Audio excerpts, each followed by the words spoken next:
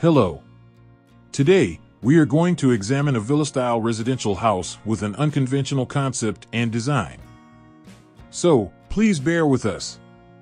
The villa was built in the vicinity of Tehran, the capital of Iran, in the town of Mosha. The plot of land measures nearly 458 square meters. The house was built in 2021. Checking the site plan and drawings. The land has a 20% slope. North is over here. The south side of the building receives excellent lighting. This is a comparatively small plot of land. There is a parking area on the ground floor which fits two cars. The entrance is over here, but I think it's slightly on the small side. The shoe rack is placed next to the entrance door, but in my view, it's not a very good idea. In this part, we have the staircase and elevator. The bedrooms have been designed on the ground floor. One is a master bedroom with an ensuite and the other two bedrooms share a bathroom. But as we move forward, we come across some awkward, wasted space with no functional use. The question is, why is the spatial hierarchy not observed in the house, and the bedrooms are located on the ground floor where you have to walk through the private spaces to reach the shared spaces? It would have been preferable to divide the two volumes with a threshold. No separators or thresholds have been envisaged for privacy when designing the rooms and these spaces have a direct view of the bedrooms. The bedrooms are very ordinary, fitted with double beds and closets and a view to the west. This bedroom is both good and bad. It's good because it has a nice view and a double bed fits in it. It also has a terrace, but there is a direct view into the bedroom from this space over here.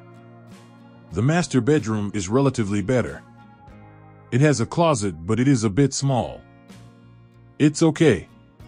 It has an ensuite and a nice view. The next question is why has the staircase been designed like this? It's out of shape but can be fixed. First floor plan. The first floor has three large terraces, which is fabulous. Strangely enough, a guest toilet is located in the dining room. The kitchen is too far from the dining room with no easy access.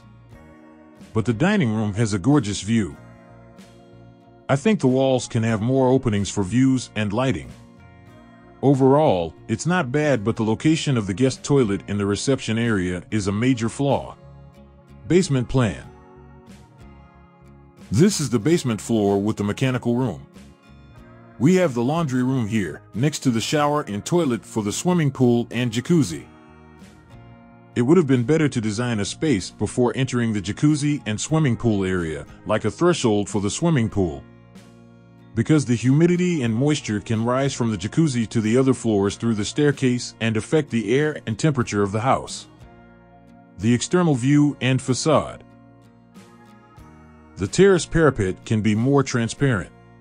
Efforts have been made in this section to open up the terrace and view. But the view of the living room has been sacrificed for the external facade.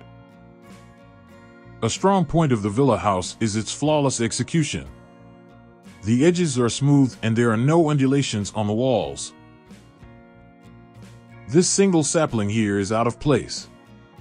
The green space would have been better executed in this section, where it can cover the increasing height of the staircase and avoid accidents for the residents due to refractive errors. An excellent overhang with a bar light underneath. The view from the swimming pool is very nice.